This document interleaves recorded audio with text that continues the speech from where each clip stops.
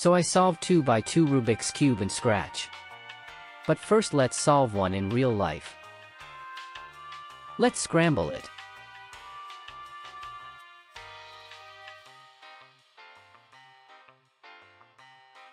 Three, two, one, go.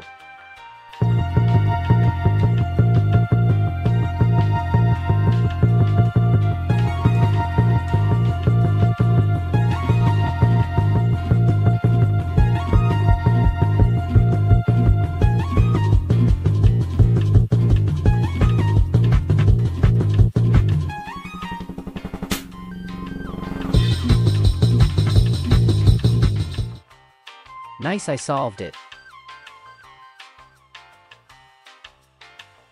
Okay, so I am trying to solve it like in real life.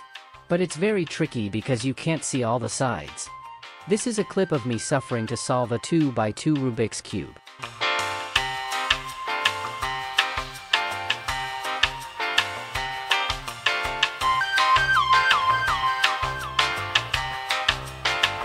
Okay now, last attempt. I hope this is going to be it.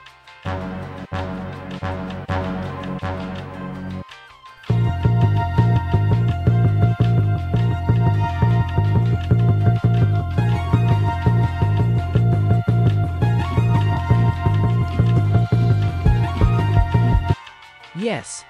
Finally! I solved it. It took me like an hour to solve it. It is way harder to solve it in Scratch.